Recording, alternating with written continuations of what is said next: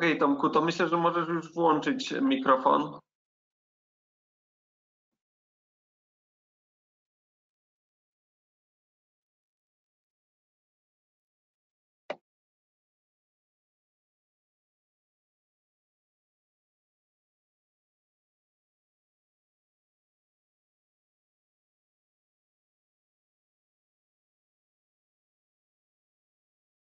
No, mamy 11. Dzień dobry Państwu.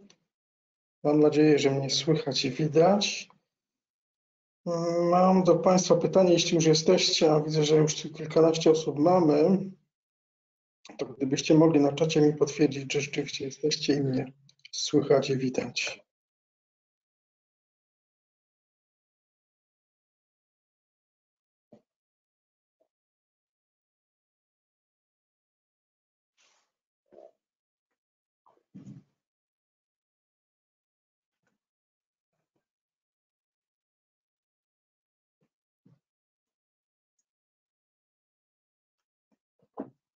Mam informację od organizatora, że słychać, widać, więc pewno będziemy jeszcze chwilkę poczekamy. Widzę, że jest kilkanaście osób, ale rośnie nam tutaj właśnie kolejna mm, liczba.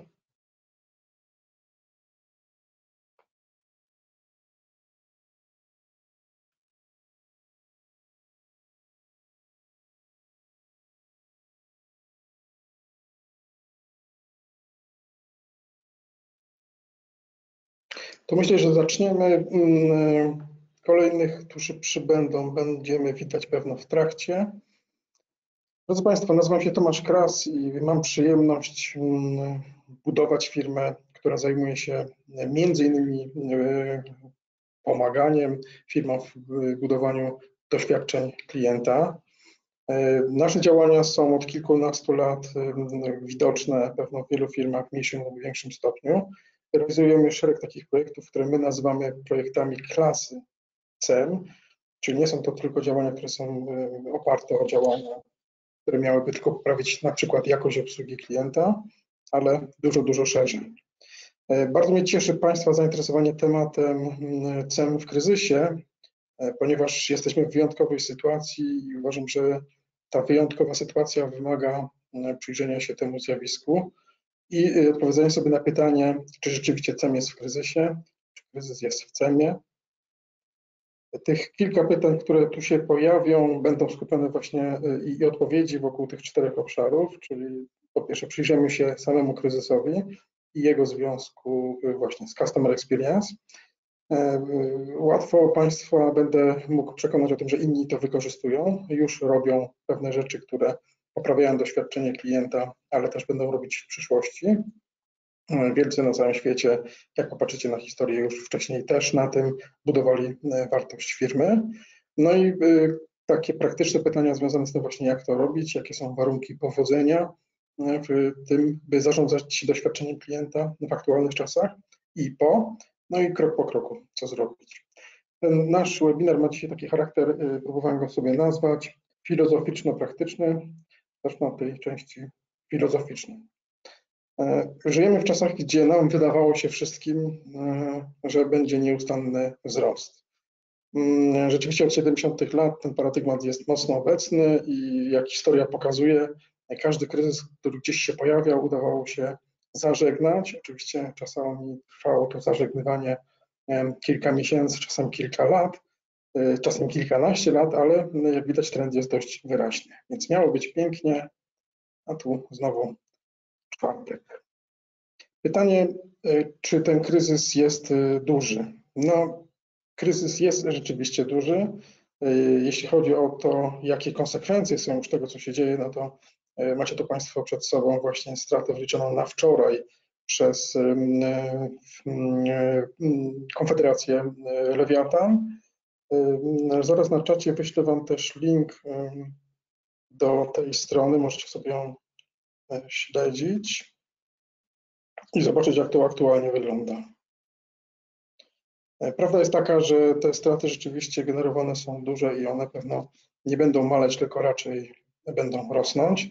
I w zależności od tego właśnie, y, jaki obszar weźmiemy pod uwagę, no to Jak widać w przemyśle i handlu są największe te straty, no i w usługach, do których też my należymy, jakby mocno odczuwamy to, co się dzieje po stronie takiej finansowej, jeśli chodzi o, o straty.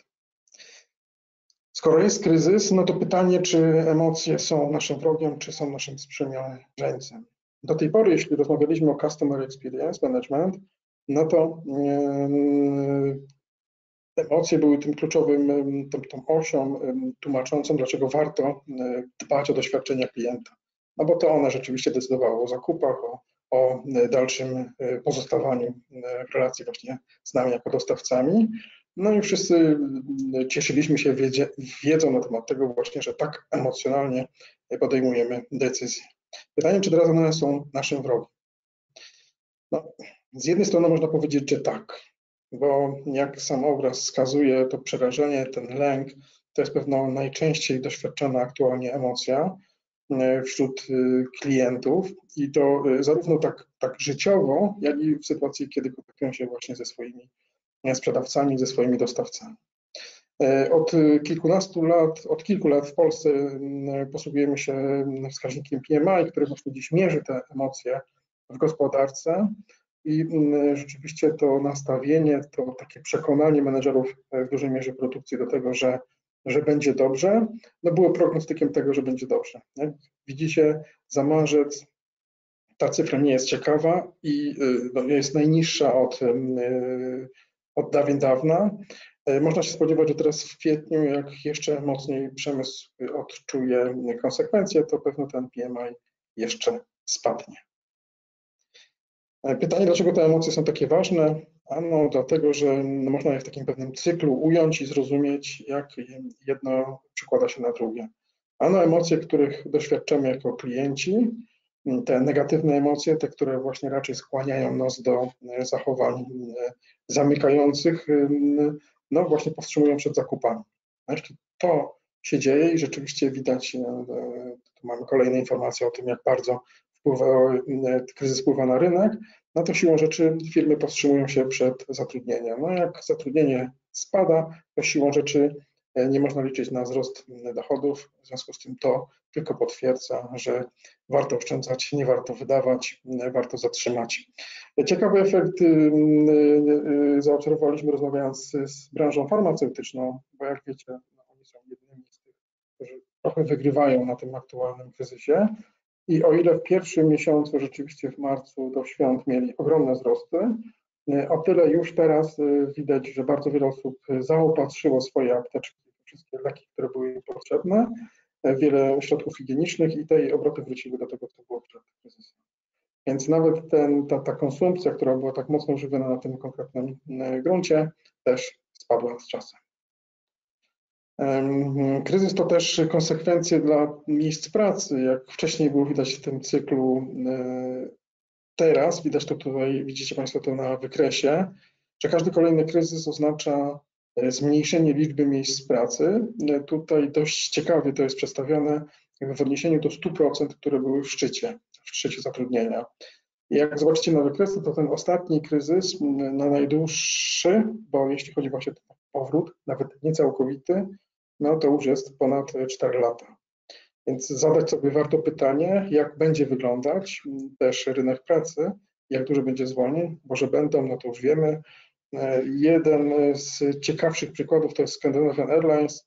Figura, jeśli chodzi o customer experience, ich działania Jana Carzona no, są często właśnie przedstawiane jako e, takie ikoniczne, jeśli chodzi o troskę o klienta. Zdecydował się o zwolnieniu 230 tysięcy pracowników. Oczywiście mają tam oni pewną granicę, pewną zapowiedź, że to się może zmienić, ale ruch był szybki, jeszcze w marcu podjęty i spektakularny. Gdyby zadać sobie pytanie, co z tymi emocjami, no to e, dochodzę do wniosku, że wiele emocji, które będą nam towarzyszyć w tych czasach, to będą te same emocje, które znamy, tylko będą bardziej intensywne. Strach czy potrzeba bezpieczeństwa rośnie, i to, co y, aktualnie widzimy na ulicach, te, te, te maski wszechdominujące, no są właśnie odpowiedzią na ten na strach i potrzebę bezpieczeństwa.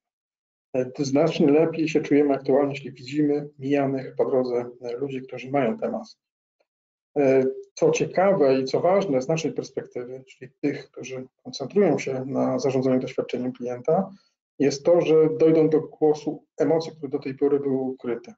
Mówimy o agresji, y, takiej złości, nie tylko o hejcie, który teraz częstują często internauci, nawet medyków, y, a oczywiście te, te, te lęki y, generują właśnie tą złość wśród internautów, ale też coraz silniej, częściej, mocniej dojdą do głosu bezradność czy depresja finalnie i z takimi negatywnymi emocjami, negatywnymi, jeśli chodzi właśnie o ich odbiór, o ich kolory, też trzeba się liczyć. Jak domyślacie się, no, te emocje nie sprzyjają konsumpcji. W związku z tym em, no, są pewnym wyzwaniem, jeśli chodzi o zarządzanie doświadczeniem klienta. E, Dla mnie kluczowym będą ten, ten dylemat między lękiem a poczuciem bezpieczeństwa, i tym wszystkim, co jest związane właśnie z pewnością po drugiej stronie i za te ostatnie będą chcieli klienci na pewno zapłacić. Więc jeśli myślimy, czy jeśli pokazujemy pewne działania, e, wdrażamy, które zwiększają bezpieczeństwo klientów, na pewno jest to właściwy ruch, bo tego oczekują klienci.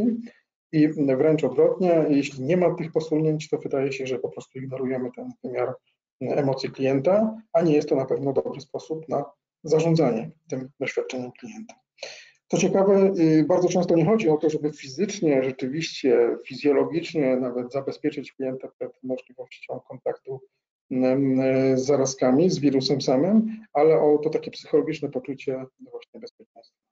E, Jeden z zaprzyjaźnionych szefów fabryk, y, fabryki motoryzacyjnej, jeden i drugi opowiada mi, że te tysięczne inwestycje, setki tysięcy wydali na właśnie takie działania ochronne, nie spowodowały uniknięcia zarażenia, znaczy nie pojawiło się też zarażenie u nich, e, ale było tylko działanie takim psychologicznym, które dawało właśnie poczucie bezpieczeństwa e, dla pracowników i oni nadal y, przychodzą do pracy.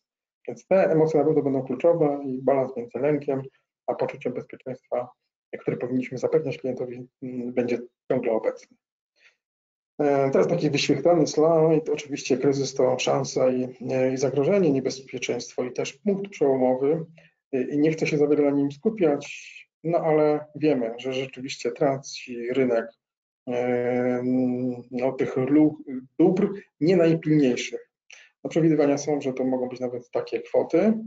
E, Traci co oczywiste i co widać, co odczuwamy branża turystyczna, transportowa, hotelarska, MICE.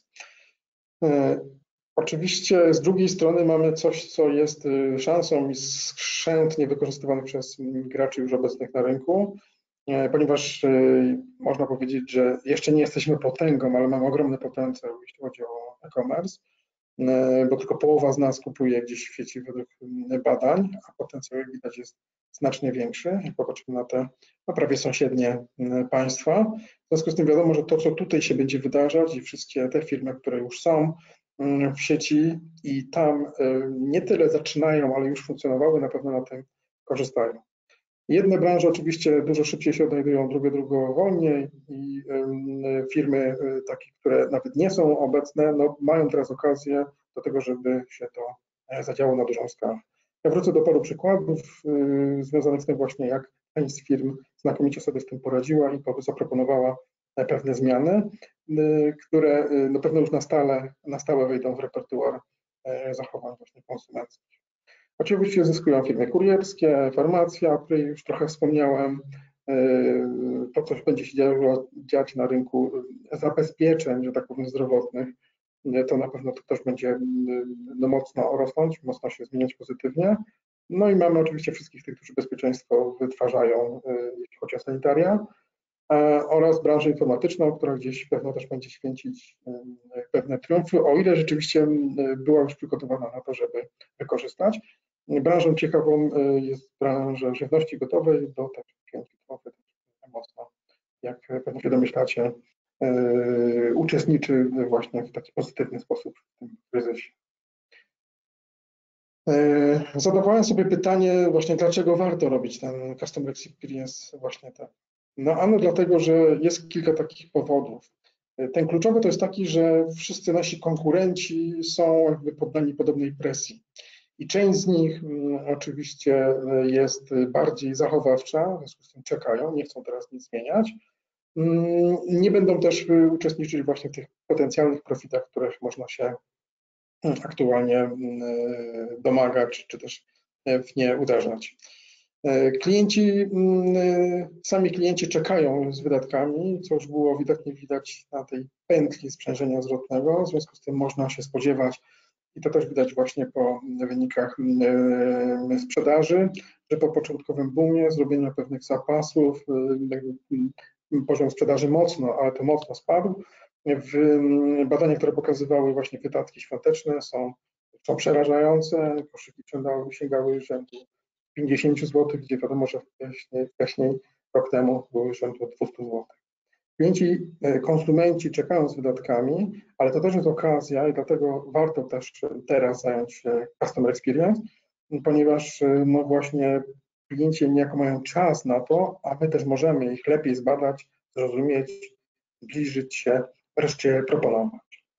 Oczywiście mm, jest to też moment na to, żeby się pozbyć tych nierentownych mm, klientów, zweryfikować, e, czy rzeczywiście na nich zarabiamy, czy warto się na nich koncentrować, czy warto inwestować i poprawiać właśnie ich experience. Mm, A wreszcie mm, te czasy aktualne są ważne, dlatego że możemy też zredefiniować własną strategię. Jeśli ona oczywiście była, bo wiele firm y, nie myślało, czy nie myśli o y, tym, żeby mm, właśnie zarządzać doświadczeniem klienta, no mają taką okazję, ale na pewno te, które do tej pory to zrobiły, robiły, mogą to też zweryfikować. Ja jeszcze wrócę do tej weryfikacji, bo jestem gorącym zwolennikiem tego, żeby nie koncentrować się na zachwycaniu klienta, ale raczej na byciu użytecznym dla niego e, i na pewno o to można zweryfikować tą strategię, bo jeśli ktoś koncentrował się rzeczywiście na zachwycaniu klientów, na e, robieniu wow, e, no to teraz niejako w praktyce i niejako mm, poprzez właśnie okoliczności będzie zmuszony do weryfikacji tej strategii. E, jeśli to jest taka szansa, jeśli to jest taka, taki ciekawy moment, no to pytanie, e, ile firm wykorzystuje tą szansę? Wspomniałem, że mm, wielu konkurentów przeczekuje i patrzy, co się będzie działo i pewno na podstawie tego będzie działać. Ale przygotowując ten webinar, dotarłem do bardzo ciekawych badań z września zeszłego roku, mm, zrobionego prze, zrobionych przez Pricewaterhouse. No i oni zadali pytanie menedżerom, właśnie ile firm wykorzystuje kryzys. Na świecie wygląda to tak. Według y, y, ich szacunków, według ich badań, aż 42% firm wykorzystuje kryzys do tego, żeby się wzmocnić, żeby zredefiniować pewne rzeczy, żeby zweryfikować strategię, uelastycznić albo wręcz odwrotnie, zadbać o większe zapasy. W każdym razie y, bierze naukę z kryzysu i mm, poprawia swoje funkcjonowanie. A jak myślicie, ile procent polskich firm uczy się na kryzysie? Ciekaw jestem, korzystając właśnie z tego czatu, czy możecie na czacie mi tutaj odpowiedzieć i zasugerować właśnie, jakie, jaki procent polskich firm e, uczy się na kryzysie.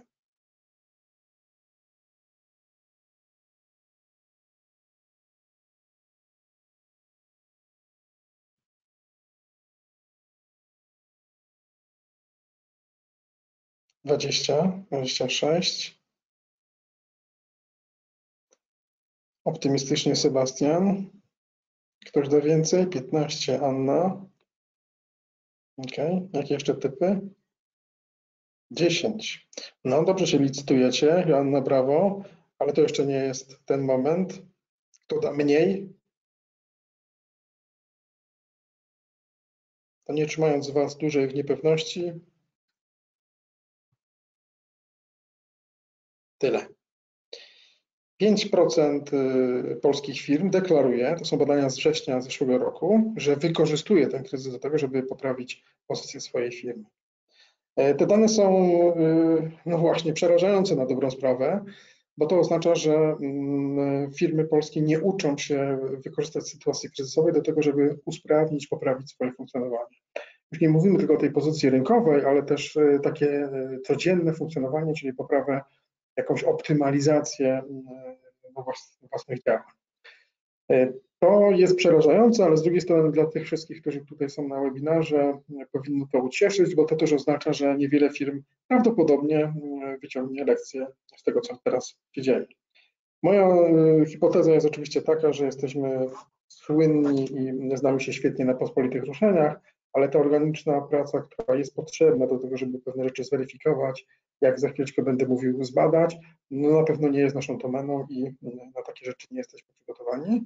I kiedy kończy się już zagrożenie, to raczej zamiast wyciągać wnioski i poprawiać mm, sposób funkcjonowania, wracamy do starego. Więc dla nas jest to szansa, y, bo możemy zadziałać inaczej niż y, prawdopodobnie 95% przedsiębiorstw. Czy konkurenci tego nie wykorzystują? No oczywiście, być może ci nasi niekoniecznie wykorzystują, ale już widać też mnóstwo y, polskich firm, które to wykorzystuje. Mówię o kryzysie bardziej niż o tej szansie na rozwój. Ale jak pokazuje mm, dane, do których tutaj dotarłem, bardzo ciekawie, mm, na każdym kryzysie powstawały E, gigantyczne przedsiębiorstwa, które no bardzo często redefiniowały sposób funkcjonowania w danym obszarze. Czy to jest y, y, żywność, jak fast food, czy to, jest, czy to są dostawy, czy to są właśnie hotele, y, czy to jest nawet sprzęt biurowy, wtedy, jak popatrzymy na HP, czy rozrywka w tym czasie po kryzysie z czarnego wtorku, o którym gdzieś tam wspomniałem. No i w końcu wszystko to, co się dzieje po tym kryzysie dotcomowym, czyli te wszystkie rzeczy związane właśnie z, z firmami, które albo pracują w chmurach, albo no, mocno działają w sieciach, ale w zupełnie nowym mo, momencie. Jeśli połączyć wątek taki, że mamy bardzo mocno nasilone tendencje do tego, żeby transponować swoje zakupy na takie, w takim modelu właśnie abonamentowym, no to prawdopodobnie coś, co już było mocno rozpoczęte na wielu rynkach, przejście z posiadania produktu, usługi do abonamentu nasili się i pewno będziemy mieć zupełnie nowe firmy, które no, na zupełnie inną skalę jeszcze wykorzystają i na pewno powstaną. Mówię tutaj o rynku takim światowym. Co będzie u nas, nie wiem, nie dotarłem do takich informacji, które by pokazywały, które firmy w Polsce zbudowały się właśnie na, na kryzysach, ale na pewno tak się będzie działo. E, o kryzysie wspomniałem w kwestii tego chińskiego znaku, a tu jeszcze jeden sympatyczny człowiek, e, ponieważ jak Państwo z nas wie, jestem wykształcenia psychologiem, no to sięgam czasem po tych naszych bohaterów przeszłości. To jest Erik Erikson, który swego czasu przyglądał się temu właśnie, jak ludzie sobie radzą z kryzysami i mówimy tu zarówno o takich kryzysach wieku dorosłego, a przede wszystkim wieku rozwojowego. Nie będę wdawał się w szczegóły. Ważne, żeby było dla Was jasne, że w każdym tym momencie kryzysowym dzieci, a potem dorośli muszą rozstrzygać właśnie, czy zaufać światu, czy nie ufać, czy być samodzielnym, czy też pozostać w niepewności, budować i kierować inicjatywą, bądź też zamykać się, wycofywać się i żyć w poczuciu winy, być pracowitym versus czuć się właśnie gorszym czy niekompetentnym. I tych kryzysów jest wiele, co najmniej osiem opisanych przez niego. Ważne, że żeby rozstrzygnąć kryzys, żeby go wyjść, ten wątek filozoficzny, o którym wspomniałem, no będzie trzeba rozstrzygnąć pewien kryzys, który dotyczy też relacji z klientami. Gdyby zadać pytanie, czego dotyczy aktualny kryzys w relacjach z klientami, to ciekaw jestem, co byście odpowiedzieli. Zapraszam do znowu czatu, do, do, do pytań i poproszę tutaj o Wasze propozycje. Czego dotyczy aktualny kryzys w relacjach z klientami?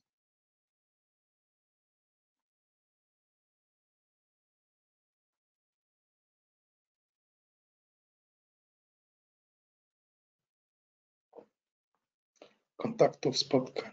Mhm.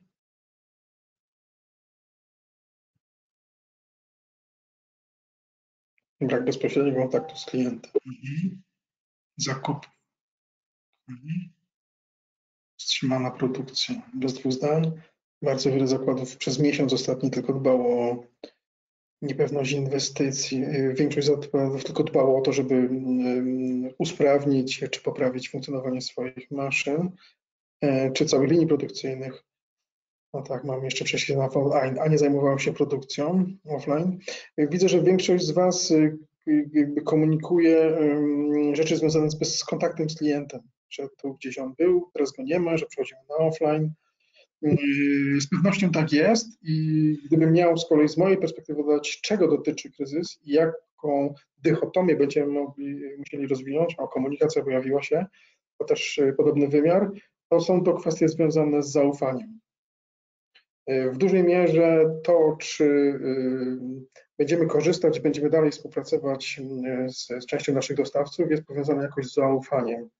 E, I prawdopodobnie to zaufanie zostawało przez szereg e, wcześniejszych czasów zachwiane e, i teraz jest wystawione na próbę. Teraz na pewno rozstrzygnięcie kryzysu będzie polegało między innymi na tym, że firmy razem ze swoimi klientami zaczną trochę na nowych być może zasadach budować to e, wzajemne e, zaufanie. Brak bezpośredniego spotkania, z- kontaktu z klientem, kolejna wypowiedź. Na pewno mm, macie rację, jeśli chodzi o właśnie ten kontakt z klientem, bo te relacje z klientami to jest coś, te bezpośrednie i te pośrednie to jest coś, mm, co mocno daje odczuć wszystkim nam, ale mm, ja widzę to trochę szerzej w kategoriach właśnie pewnego kryzysu zaufania klientów wobec firm. I to na nowo zbudowane trochę zaufanie będzie prawdopodobnie sposobem na rozstrzygnięcie tego aktualnego kryzysu. Mm, No i teraz y, dalej wracam do swojej opowieści, y, że to mm, te aktualne czasy to jest szansa. Y, Ci z Was, którzy śledzą trendy w Customer Experience, wiedzą, że cały czas następuje przenoszenie oczekiwań między branżami, czyli coś, czego oczekiwa, doświadczyliśmy jako klienci, jako konsumenci w jednej branży, zostaje bardzo szybko przeniesione na inne.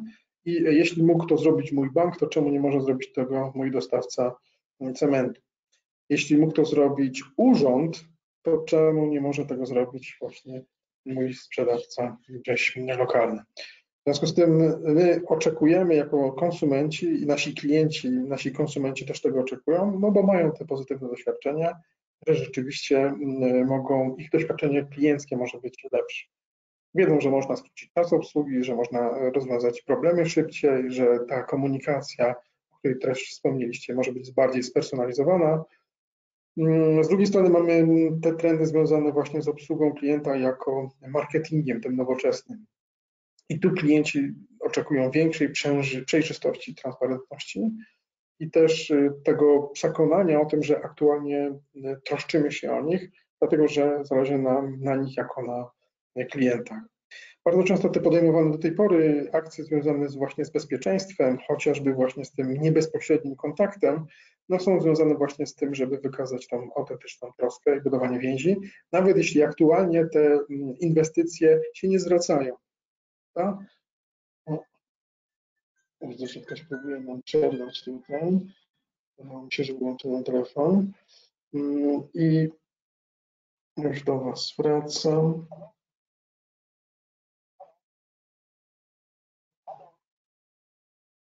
To, to jest ze smartfonami, które są zblokowane. E, Więc y, ta obsługa klienta jako właśnie nowoczesny marketing jest stale obecna i ten trend cały czas się nasila. Przyglądamy się, widzimy jak jesteśmy dostępni poznawczo y, jako klienci dla innych potencjalnych klientów.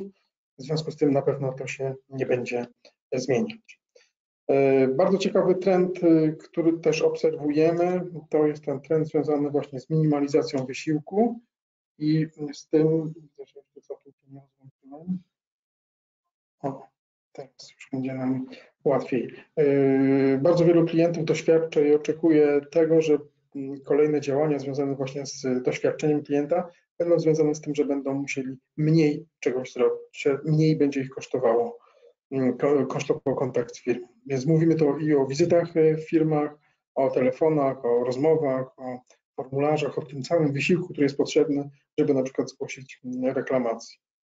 E, Z drugiej strony mamy mm, paradoksalną trochę tendencję do e, self-serwisu i ona też znacząco cały czas rosła do tej pory.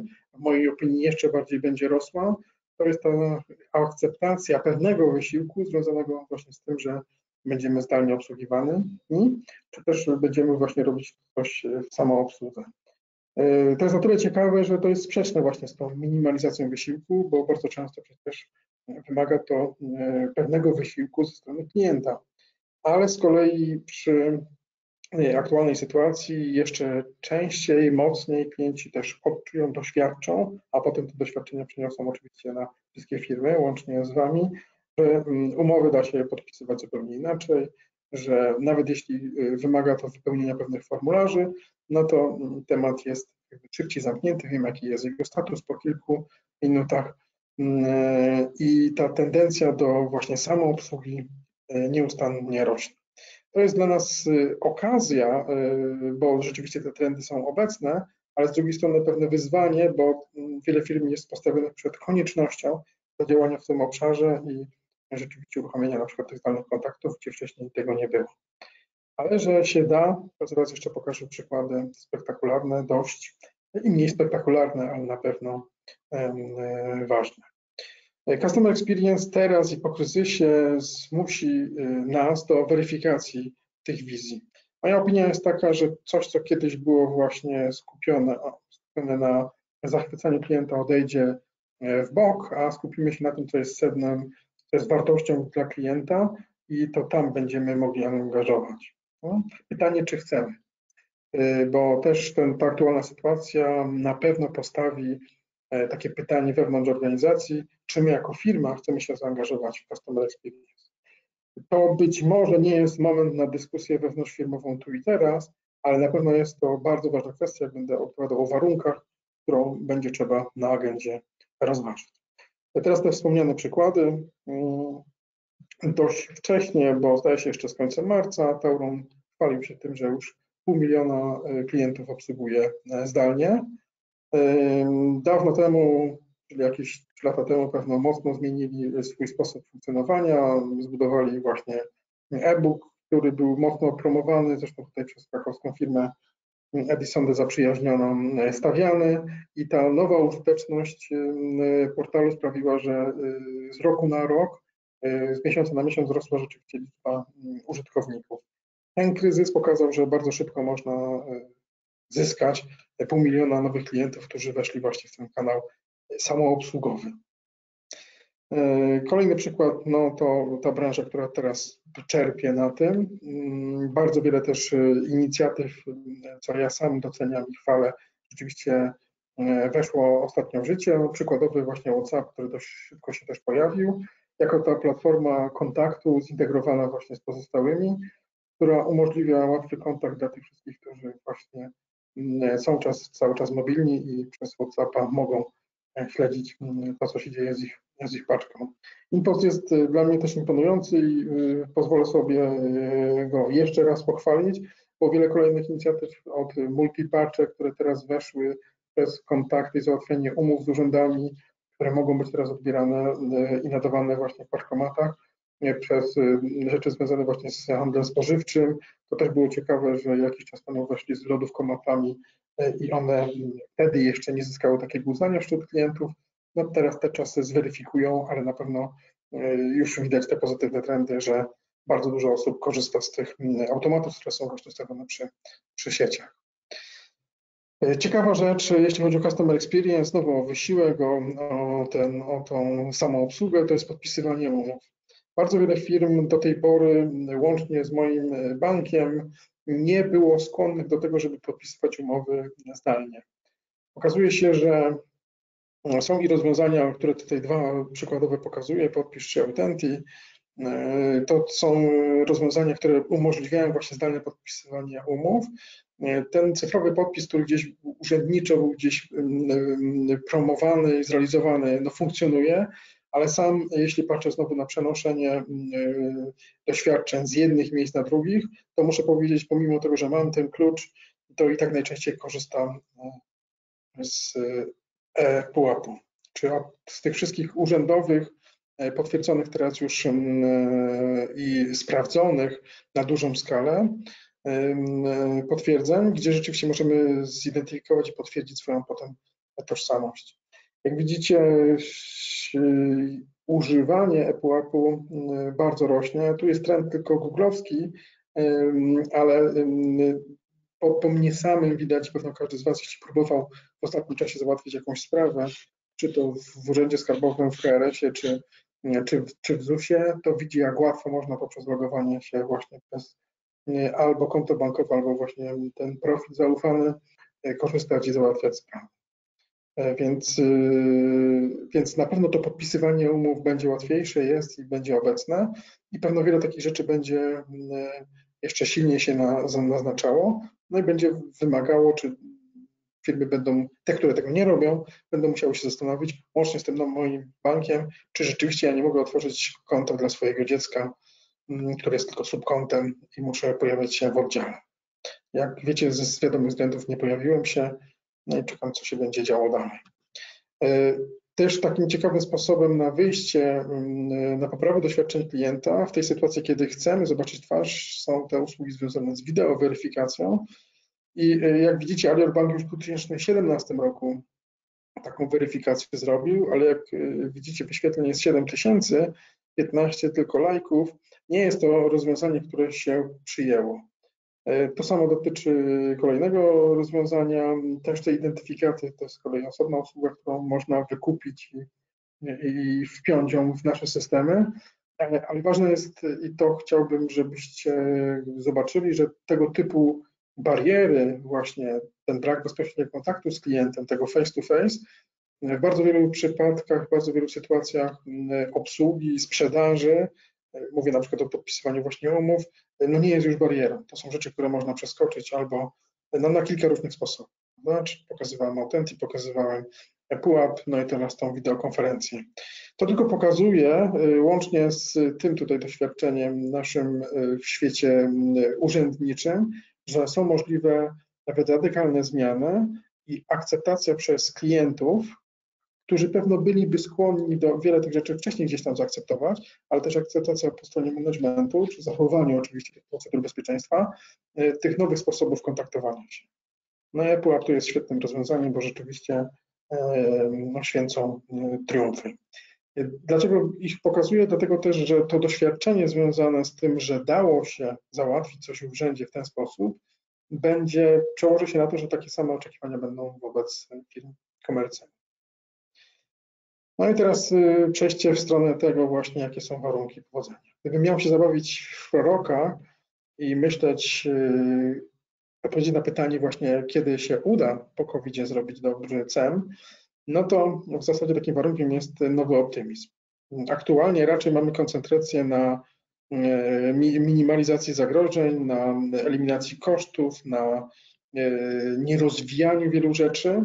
Ten nowy optymizm dopiero musi się pojawić wewnątrz firm. Bardzo wiele firm nie jest aktualnie gotowych, bo inaczej się działa w czasach prosperity, kiedy widać te pieniądze, które tam już są dostępne na rynku i mogą się znaleźć na naszych rachunkach, a inaczej, jeśli widzimy, że ta konsumpcja spada. Y, Moja koncepcja jest taka, że tu mamy niezłą okazję do tego, żeby właśnie liderzy dotychczasowi Customer Experience w firmach, czy to są ludzie z marketingu, czy to są z łańcucha dostaw, czy to są ludzie ze sprzedaży, oni na nowo mm, mm, zbudowali tą swoją pozycję. E, Przedstawiam taką triadę, zagrożenie, szansa potem e, rozwiązanie, dlatego że to właśnie wokół tych trzech rzeczy możemy snuć swoją opowieść na temat tego, że będzie dobrze. Będzie dobrze, na pewno wygrywać będą ci, którzy szybciej ruszą, mm, ale jeśli ktoś ma zrobić tą nową opowieść, to właśnie liderzy Customer Experience. I moja podpowiedź jest taka osobista, taka, że znowu nie chodzi o zachwycanie, tylko chodzi o, o użyteczność dla klienta. Oczywiście ważne będzie zaangażowanie e, i to zarówno pracowników, jak i klientów. Ważne są badania, mierzenie tego, co się tam dzieje w tych relacjach. E, Zwinność, m, bo będziemy mieli m, taką e, sytuację, że bardzo wiele tych rozwiązań będzie trzeba testować, sprawdzać, e, łącznie z ryzykowaniem, łącznie z z proponowaniem czegoś, co jeszcze nie jest obecne na rynku, ale e, ważne jest, żeby to było właśnie testowane m, i, i sprawdzane. No i kolejnym warunkiem jest to, że nie będziemy w tych 5%. Jeśli zadać pytanie, jakie będą oczekiwania, za jaki experience klienci będą chcieli zapłacić, to na ten moment y, można powiedzieć na pewno, że za to wszystko, co daje większe poczucie bezpieczeństwa. Ale czy wiemy y, tak naprawdę, za jakie doświadczenie będą chcieli zapłacić? Uważam, że nie wiemy. W związku z tym przyda się pewno ten schemat, który, y, jeśli już byliście kiedyś na moich webinarach, czy oglądaliście nasze strony, on nie jest y, y, zmieniony.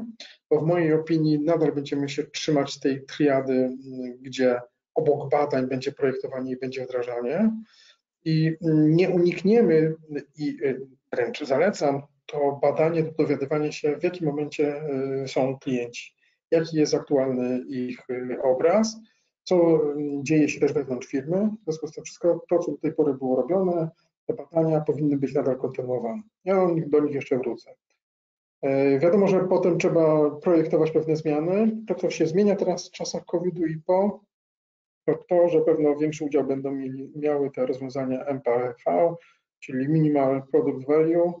Chodzi rzeczywiście o to, żeby w pewien sposób krokowy, ewolucyjny proponować nowe zmiany dla klientów w firmie, a dopiero potem rozpędzać się i e, działać. A na etapie wdrożenia to znowu będą dominować quick winy zamiast rewolucji i będą mm, pewno częściej stosowane właśnie te zamknięte techniki PDCA, czyli, e, czyli zaplanuj, zrób, e, sprawdź e, i zadziałaj. Przeglądając te trz- trzy etapy, mm, to na pewno warto a propos badań zaktualizować swoją wiedzę na temat konsumentów, na temat klientów. I tu znowu pomocne będą badania, mm, żebyśmy w pierwszej kolejności sięgnęli do tego, co już wiemy, co już mamy w swoich zasobach. Nasze doświadczenia na przestrzeni kilkunastu lat pokazują, że bardzo wiele firm ma mnóstwo danych na temat firmy, na temat klientów, ale nie wykorzystują tych danych. W związku z tym teraz będzie moment na to, żeby wrócić, przejrzeć te dane.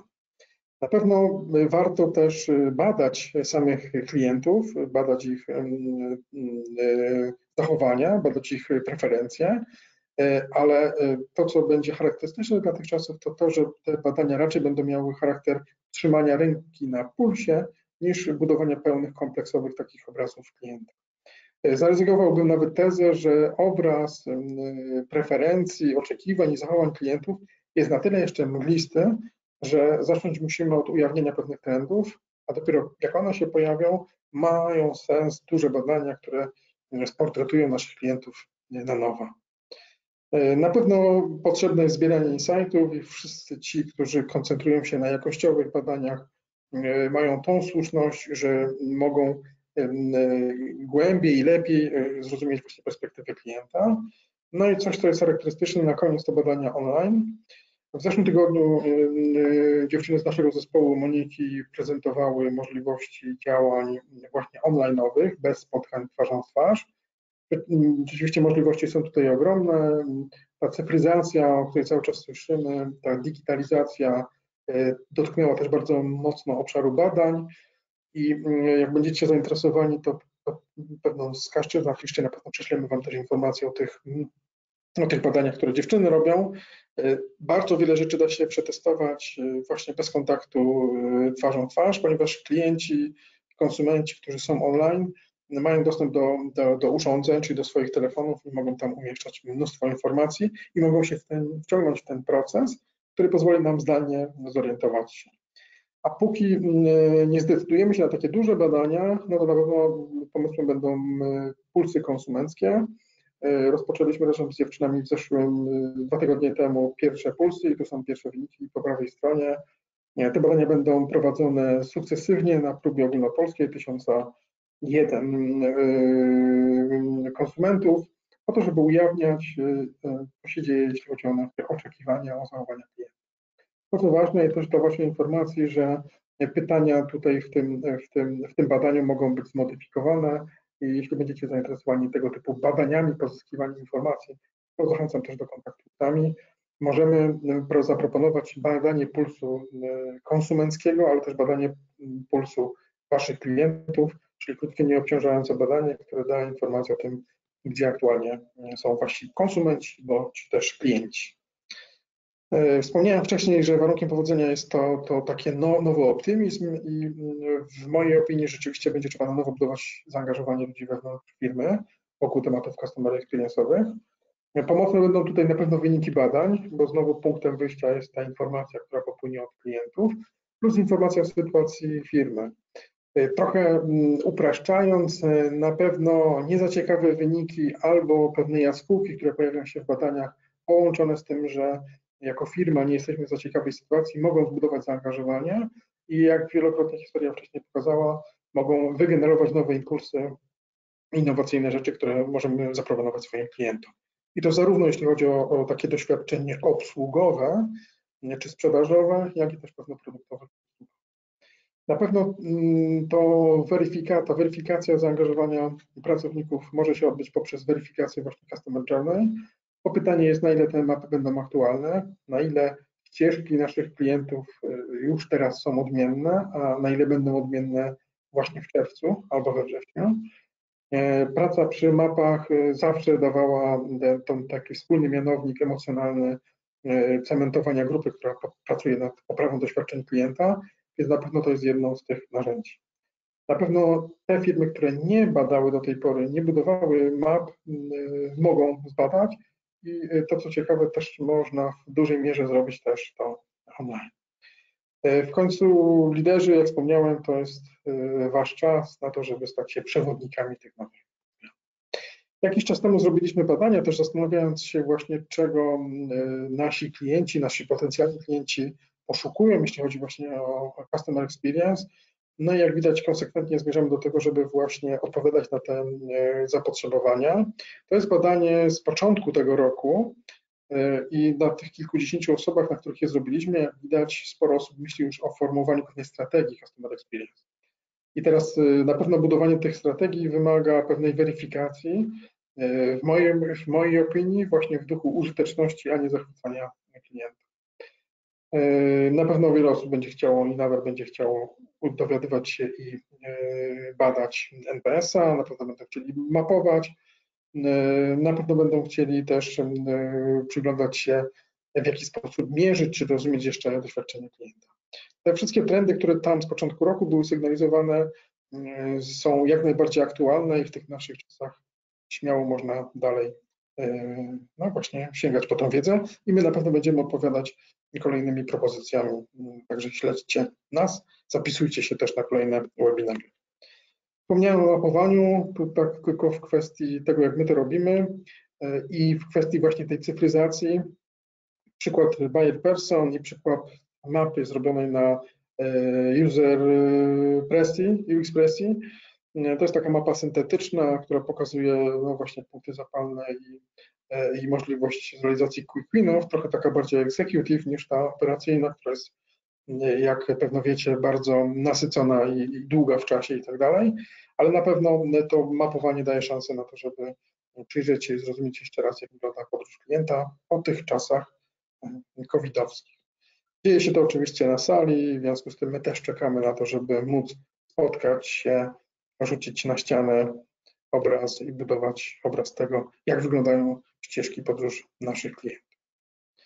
E, to, co ważne, że jeśli już powstaną te nowe zweryfikowane mapy, jeśli będą te badania zrealizowane, no to przyjdzie czas na decyzję i tu pewno nie ma lepszego sposobu na, niż e, matryca typu Moskał, żeby zdefiniować rzeczywiście, co będzie trudne, łatwe do wdrożenia, ważne dla klienta, nieważne i na podstawie tego podejmować decyzję właśnie, gdzie inwestować środki. E, I jak wspomniałem, quick winy będą na pewno przed rewolucją szły. To mm, ta moja teza, że mamy się nie skupiać na zachwycaniu, ale na użyteczności, bierze się oczywiście z rzeczy, które już mówiłem dawno temu na różnych konferencjach, że ta satysfakcja wprost nie przekłada się na lojalność klienta. Zdecydowanie dużo bardziej y, dla klientów liczy się coś innego niż zachwyt. I badanie, które też robiliśmy jeszcze w zeszłym roku, pokazywało, że ten zachwyt, o który tutaj Was pytam, jak domyślacie się, jest na końcu. Dużo częściej, dużo ważniejsze dla klientów, naszych klientów mm, jest, jest rzeczywiście kompetentna obsługa, gwarancja realizacji, e, jakość, czas reakcji, czyli to wszystko, co się składa na tą dobrą obsługę, na tą użyteczność, na coś, co też jest e, nazwane filarami Customer Experience w tej nomenklaturze KPMG. E, a propos wdrażania, wspomniałem, że te mm, projekty powinny mieć charakter właśnie takich, takich progresywnych e, i nie chodzi o rozłożenie w czasie elementów, tylko rzeczywiście o minimal value product i krok po kroku e, umożliwienie mm, klientowi realizacji jego celów, a wraz z rozwojem klienta, wraz z czasem rozwój tych propozycji.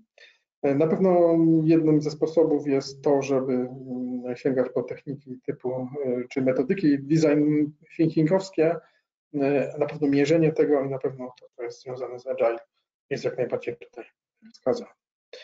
E, a że klienci będą też oczekiwać czegoś, co nie jest w badaniach, świetnie pokazuje mm, obraz mm, innowacji googlowskich, te czasy i też te miesiące kolejne, które nas czekają, też będą być może stwarzały okazję do tego, żeby proponować rzeczy, które nie wejdą e, do użycia, ale na pewno bez tych propozycji nie będzie też innowacji, nie będzie e, nowych rzeczy, które no właśnie finalnie zostaną wdrożone. Każda firma, która wykorzystuje kryzys, a szerzej pewno taki kontekst niepewności rynkowej, nie tylko powinna się opierać o to, co klienci komunikują, bo jak wspomniałem, pewno przez długie miesiące klienci będą w ogromnej niepewności e, i ich definiowanie potrzeb nie będzie takie klarowne, e, będzie obarczone dużą dozą niepewności. W związku z tym mamy możliwość też proponowania z naszej strony pewnych inicjatyw, innowacji, E, i testowania, przyglądania się nim. Część z nich trafi na śmietnik, a część z nich do życia. E, przy okazji zachęcam, zapraszam, bo zmierzamy już do końca, do tego, żeby spotkać się na kolejnym webinarze. Mm, chcę krok po kroku dla tych z Was, którzy są zainteresowani mapowaniem podróży klienta, jak to robić właśnie w kryzysie. Idąc zgodnie z tą tezą, że jeśli nie mapowałeś, to zacznij, a jak mapowałeś, to zweryfikuj aktualne ścieżki podróży. Prezentację, którą Wam prześlę, też odeślę Was do źródeł, które tutaj są.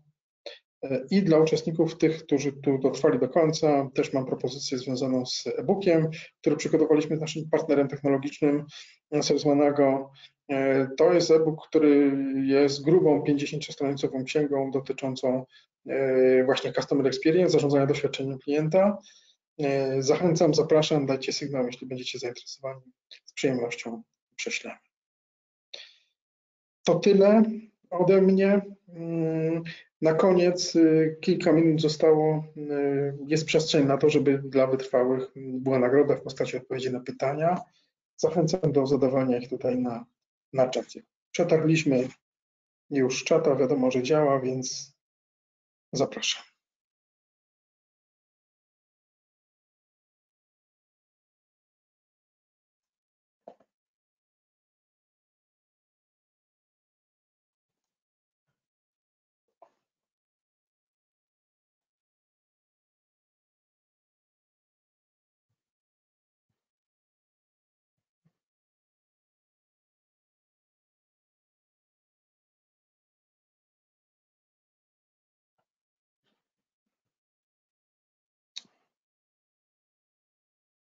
Nie widzę pytań, nie wiem czy zadajecie je, czy nie zadajecie.